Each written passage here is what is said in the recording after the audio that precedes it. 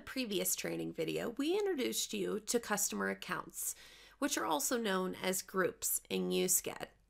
In this training video, we will introduce you to client accounts, which are also known as group members in Usked. In Usked, the group is basically the organization that is paying for services, and group members are the clients that actually receive these services. You would add one or more group members for each group you create. Let's get started. To see your current group members, head on over to the Group Members option, which is found under the People menu. Here, we can see a list of all the group members of various organizations that have signed up with us to receive services. There are two parts in Usked that make up a group member. They are the user account and the group member profile. Both parts are required for every group member in Usked. We have a new company called the Tasty Pizza Company that wants to pay for services for one of their employees.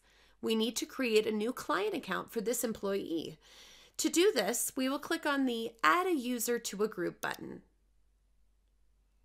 If we have already created a user account, we can just type in the name of the person here. Since we have not yet created the user account, we will press the Create a New User Account button now. Creating a new user account allows a person to log into Usked using a username and a password, as well as provide a place in Usked to hold some other information, such as the name of the person. Let's give this person a name. Now let's click on the Account tab. Here is where we will give this person a username and a password.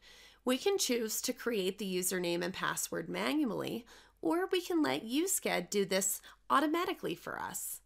Let's press the button to automatically generate username and initial password. As you can see, Usked has taken the person's first name and last name and created a username with that. Usked has also created a random initial password for this individual. It's considered initial as this is the only time you will have access to that user's password.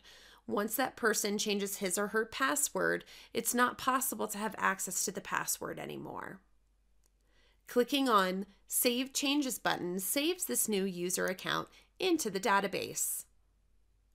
Now we are back on the Add a User to a Group screen, and as you can see, the user account we have just created has automatically been selected.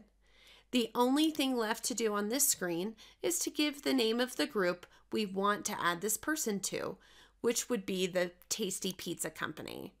Now hit Save Changes. Usked has created a new group member profile using default values. Now we are given the opportunity to make changes to this group member profile.